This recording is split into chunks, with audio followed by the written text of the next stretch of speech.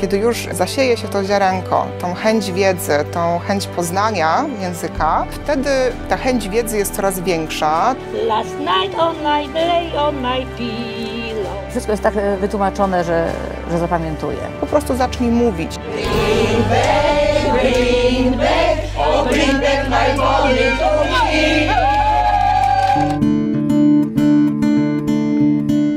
Lubię rysunek i malarstwo. Malowałam tylko w szkole podstawowej kredkami. Dostaliśmy takie informacje, dzięki którym możemy na przykład coś takiego namalować.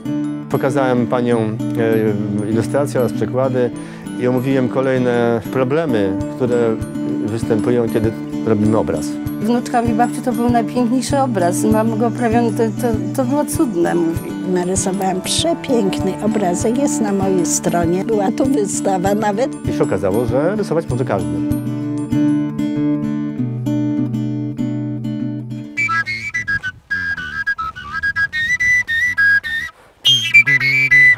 Wspólnota jakby budowana jest tutaj przez energię, jaka się rodzi z tego właśnie, że razem jesteśmy w jednym pulsie, w jednym rytmie i e, naprawdę to widać, jak, te, jak ta energia buzuje. Idzie mu ta lekcja, nie? Z nami.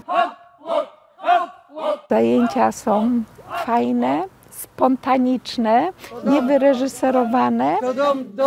Poleciłabym każdemu, choremu czy zdrowemu.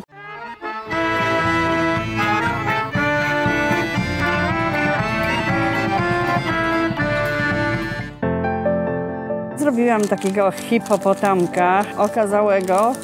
Materiał rzeźbiarski wyjątkowo jest angażujący jednocześnie i głowę, myślenie i jednocześnie angażuje fizycznie.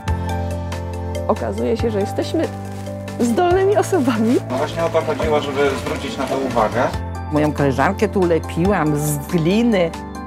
W tym towarzystwie czuję się bardziej zauważona, doceniona, no i spełniona.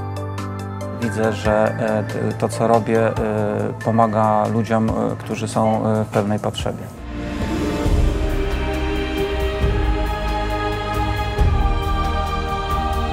Kiedy wprawiamy ciało w ruch, to chce się na nowo żyć. Taniec to jest życie.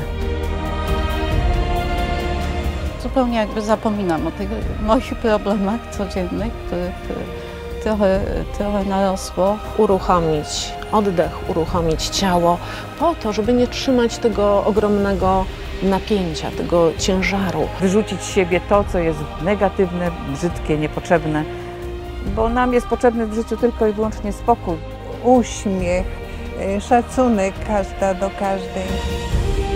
Sztuka ma właściwości, które są związane z przeobrażaniem, z katarzis, ze zmianą, zaczerpnięciem nowej energii.